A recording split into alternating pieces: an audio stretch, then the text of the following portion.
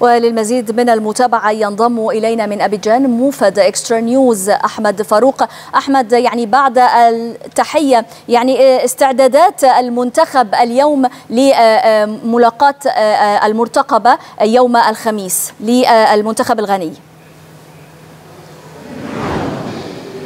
تحياتي أجواء جيدة للغاية اليوم. طبعا هناك تبعات لما حدث في الأمس والنتيجة المخيبة بالتعادل أمام موزمبيق لكن اللاعبون استعاد استعادوا معنوياتهم سريعا وتحدث اللاعبون أصحاب الخبرة مع زملائهم وكان لفيتوريا حديثا خاصا مع بعض اللاعبين. فيتوريا أصر على إقامة اجتماع خاص اليوم لم يكن مدرجا في الجدول ولم يكن منتظرا في الجدول الطبيعي للمنتخب فيما يخص الأيام. طبعا المنتخب يحدد أيام العمل قبلها بأيام وبالتالي اليوم لم يكن من المفترض أن يشهد اجتماعا مع اللاعبين لكن فيتوريا أصر على عقد اجتماع خاص ووجه لوما لبعض اللاعبين ووجه تعليمات لبعض اللاعبين وربما ربما سنتأكد من هذا في اليومين المقبلين لكن يبدو من الملامح المبدئية أن التشكيل سيشهد تغييرات. التشكيل الأساسي لمنتخب مصر أمام غانا في المباراة المقبلة قد يشهد بعض التغييرات عما حدث أمام موزمبيق أو عن التشكيل الأساسي الذي بدأ به فيتوريا مباراة موزمبيق. هناك تشديدات أمنية شديدة جدا أمام فندق المنتخب. هناك منع تام لجميع الإعلاميين ليس فقط من دخول الفندق ولكن حتى من الاقتراب. حتى من حاول التصوير من أمام الفندق كان الأمن يمنعه حتى البعثة الرسمية للاتحاد الأفريقي لكرة القدم وممثل الكاف من الإعلاميين. تم الاعتذار ورفض دخولهم إلى فندق المنتخب.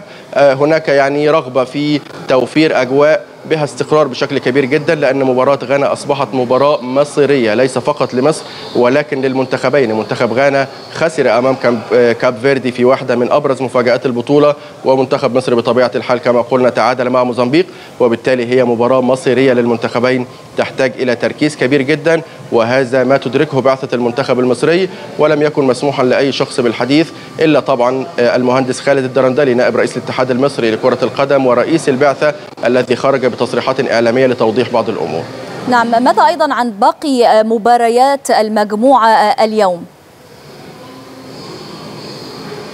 اليوم طبعا يشهد ثلاث مباريات اثنتان منها أقيمتا بالفعل. منتخب السنغال اكتسح جامبيا بثلاثية نظيفة وعبر عن نفسه مبكرا. المنتخب الوحيد من منتخبات الصف الأول الذي أقنع وأمتع في الجولة الأولى. معظم المنتخبات الكبرى تعثرت منتخب نيجيريا تعادل منتخب مصر تعادل منتخب غانا خسر. وحتى منتخب كوديفوار رغم فوزه في المباراة الافتتاحية على غينيا بيساو لم يكن أداؤه مقنعا وجميع الجماهير الإيفوارية خرجت في حالة شك من أمالها الكبيرة بالتتويج طبعا باللقب وسط على أرض طبعا المنتخب الإيفواري ووسط جماهيري وحتى منتخب الكاميرون اليوم تعادل مع منتخب غينيا رغم أن منتخب غينيا لعب المباراة منقوصا منذ نهاية الشوط الأول. يعني لعب نصف المباراة تقريبا منقوصا لكن منتخب الكاميرون لم ينجح في استغلال ذلك النقص ولم ينجح في الفوز. وأمامنا الآن طبعا مباراة المنتخب الجزائري الشقيق أمام انجولا نتمنى بالتأكيد التوفيق للمنتخب الجزائري. هذه هي آخر مباراة في مباريات اليوم.